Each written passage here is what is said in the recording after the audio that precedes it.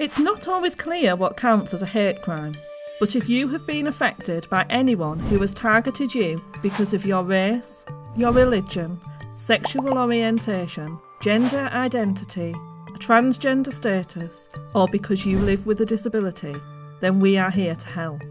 Even if you know someone else who has been targeted or have witnessed an incident, we can help you. By reaching out to one of our hate crime support partners, we can give you advice and assistance and help you report the incident to the appropriate people. No matter how minor you think it is, we'll provide a listening ear. Hate crime is never okay.